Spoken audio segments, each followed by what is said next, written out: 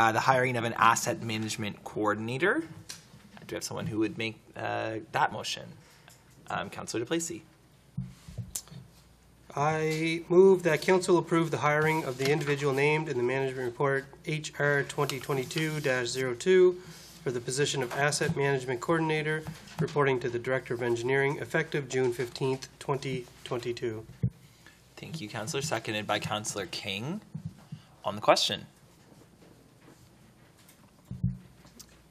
Oh, Councillor DePlacy. Um, Director Rao, again, sorry, I keep coming back to you, but um, just, again, asset management um, as a term is a bit vague for, I think, the general public.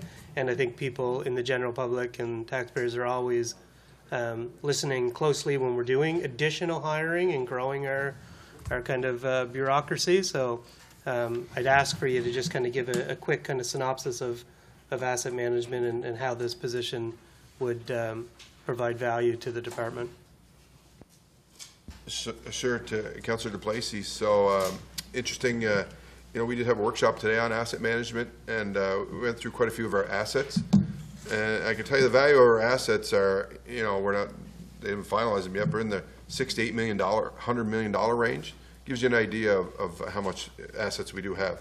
And of that, there, there's over, you know, ten thousand items of individual assets, so it, it's a lot, and what we're, what the goal is here is to come up with, uh, help us with budgets every year, to analyze things, come up with good planning, and, and, uh, get the analytics into, into asset management. They're gonna be putting together 10, 20-year plans.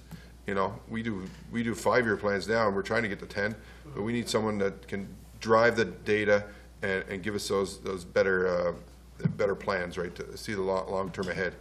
Um, it's, uh, they're gonna take the information that we're doing now with our consultant and do, uh, you know, every two or three years, do a state of infra- infrastructure. So it- there's just a lot of, uh data to analyze, and, and we don't have someone for that now, and they're gonna just add good value doing that. It, it is a lot.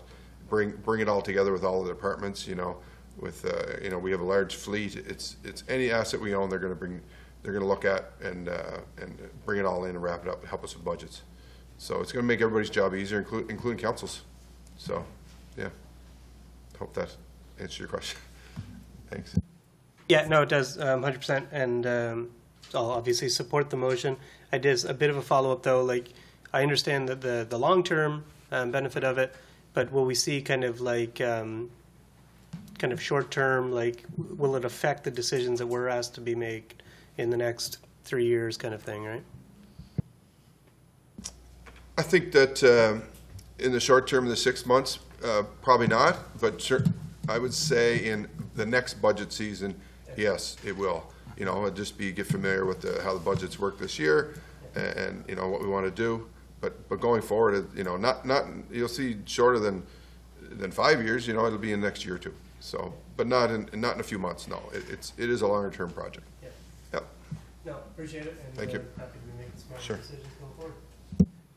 Yeah, and there would be, just to confirm, Director Rao, there would be a connectivity between the efforts you just described, and one of our strategic plan objectives is to get into multi-year capital budgeting and to have a three-year rolling capital budget, and that, that would certainly be connected, would it not?